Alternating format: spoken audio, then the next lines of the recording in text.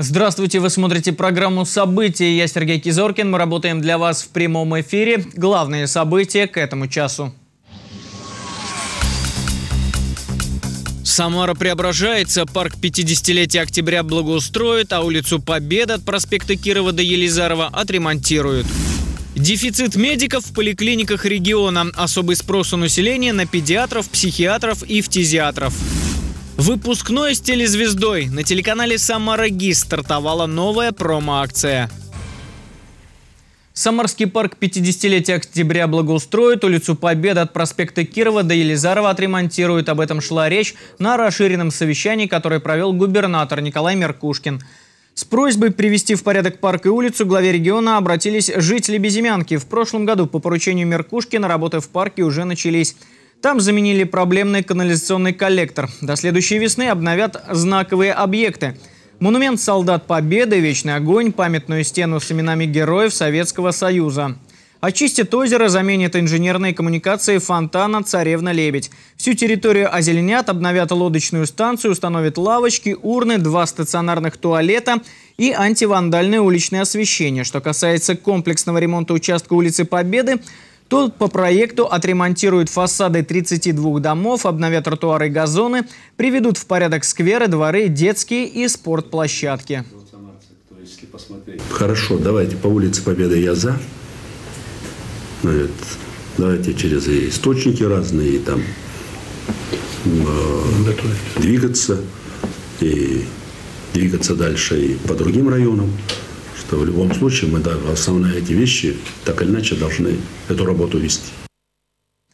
В поликлиниках региона не хватает педиатров, психиатров и фтизиатров, сообщает областной Минздрав. Особенно дефицит кадров в сельской местности.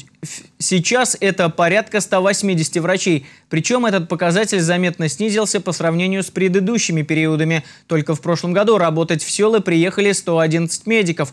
Такого показателя удается достичь благодаря поддержке, которую оказывает областная власть.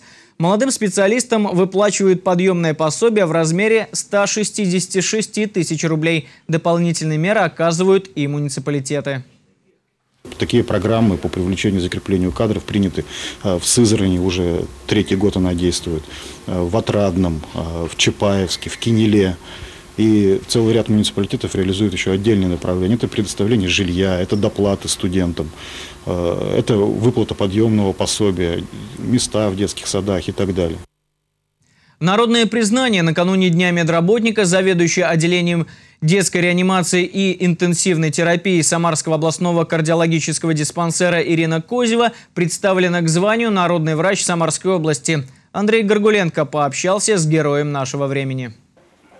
Ирина Козева, врач-анестезиолог-реаниматолог, совершает традиционный осмотр пациентов. Работа не останавливается ни на секунду. За год через ее отделение реанимации и интенсивной терапии проходит около 400 ребят. Когда Ирина начинала свою профессиональную карьеру, детская реанимация, как отдельное направление медицины, только зарождалась. Все это было на глазах моих, как это было интересно. Мы все были очень полны сил, энергии, энтузиазма. А, всякие технологии новые развивались, мы их внедряли и видели, какой-то результат приносят а, положительный, каким мы все больше и больше детей выживает тяжелых. Это все на глазах. Ирина спасает детские жизни уже более 30 лет. Она уверена, без поддержки коллег не смогла бы так успешно работать. Команда – это главное. Говорит, что ее окружают только замечательные люди. Коллеги отвечают взаимностью. Врач, который все эти 30 лет борется за жизнь детей, ну, это стоит глубокого уважения. И годы идут, а борьба за жизнь все в таком же темпе, в таком же ритме, который была в начале ее карьеры. В преддверии Дня медицинского работника Ирину представили к званию народный врач Самарской области. Но она признается, главная награда – это счастливые и благодарные родители. Когда родители видят труд наш и как все стараются, как работает команда. Они, безусловно, очень благодарны, они хотят поддерживать связь. А, очень часто в праздники какие-нибудь кто-нибудь может посетить, порадовать нас, поздравить нас. Это очень приятно. Своих пациентов Ирина Козева не забывает после лечения. Она видит, как они растут, заканчивают школу и даже женятся. А ребята считают ее неотъемлемой частью своей семьи. Андрей Горгуленко, Сергей Баскин. События. Профессиональный праздник отмечают и сотрудники Самарского государственного медицинского университета, правда многие на рабочих местах. Сегодня это не просто кузница кадров международного уровня, но и фабрика инновационных технологий. Через два года университет отметит столетие. В учебном заведении гордятся как традициями, так и современными достижениями. В структуру университета входят 11 факультетов и 80 кафедр, собственные клиники и три образовательных института. Высокий научный потенциал вуза определяют 7 научно-исследовательских институтов. В университете успешно работают 6 диссертационных советов по 15 специальностям. Подготовка научных кадров в аспирантуре и докторантуре проводится по 38 специальностям. Я в целом своих коллег и студентов тоже, я их не просто уважаю, я их люблю. Вот мы сейчас с вами разговариваем, а сотни людей, они же работают в операционных. Главная вот наша задача, я имею в виду сотрудников университета, а у нас их работает 4,5 тысячи человек, только в клинике вот 2200 здесь работает. Э, это три единые задачи. Учить, лечить и заниматься наукой. Три года тому назад, в 2014 году, в сентябре, мы создали кластер при личном участии губернатора. Вначале это было 25 организаций, которые вошли в кластер. Сейчас их 65. Я только вот проводил недавно заседание этого кластера, мы еще 10 приняли. Так что, дорогие друзья, с праздником. Замечательно, нашим профессиональным праздником Днем медицинского работника. Далее коротко о других событиях дня.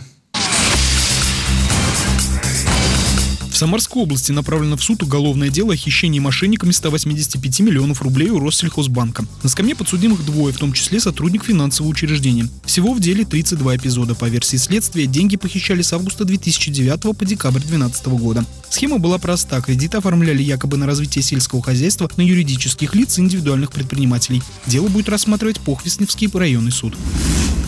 Под Самарой на Кинельской трассе столкнулись фура и грузовая «Газель». В результате кабина малой машины оказалась смята. Водителя зажало между большегрузом и кузовом своего автомобиля. Чтобы его достать, потребовалась помощь спасателей. Пострадавшего с тяжелыми травмами передали бригаде скорой помощи. Согласно информации ГИБДД, водителю «Газели» 28 лет. Предположительно, он не выбрал безопасную дистанцию и въехал в большегруз, двигавшийся впереди. Проводится проверка. С этой пятницы должники Самарской области будут получать СМС от судебных приставов. Тем, кто не выплачивает алименты, штрафы и пошлины, будут таким образом напоминать о недоимке. Проект является пилотным, отмечают в силовом ведомстве. Подобная рассылка поможет гражданам оперативно и в удобной для них форме получать информацию о возбуждении в отношении них исполнительного производства. В Самаре операторы сотовой связи предлагают организовать Wi-Fi на набережной площади Куйбышева у стадиона «Самара-Арена» и на туристических маршрутах заповедника «Самарская Лука». Бизнесмены планируют провести эти работы за свой счет. Также они планируют модернизировать 200 световых опор, благодаря чему провайдеры смогут установить камеры наружного наблюдения. Это позволит привлечь дополнительные деньги в бюджет, потому что производством металлоконструкций будут заниматься на местном предприятии. Вероятность кратковременных дождей и гроз сохранится в регионе в предстоящие выходные. При этом будет умеренно тепло. Днем от 18 до 23 градусов, ночами 9-14 градусов тепла. В субботу, по прогнозам областных синоптиков, переменная облачность, а вот в воскресенье туч на небе станет значительно больше. А вот о чем мои коллеги расскажут в следующих выпусках. Жизнь за квадратные метры. В областном суде рассматривается громкое дело черных риэлторов. Пришли, увидели и сделали. Жители Гвардейского переулка создают двор своей мечты. Песок не в помощь. Крылья Советов проиграли первый этап чемпионата страны по пляжному футболу. Наш телеканал запускает акцию «Выпускной Нагис». Соберите своих одноклассников, запишите видео приглашение, загрузите ролик в социальные сети с хэштегом «Выпускной Нагис». Набирайте лайки и просмотры. К победителям на выпускной вечер приедут ведущие телеканала и съемочная группа. Вас увидит вся Самарская область. Подробности на нашем сайте www.samaragis.ru. На этом наш выпуск завершен. Благополучия вам. Увидимся. Thank you.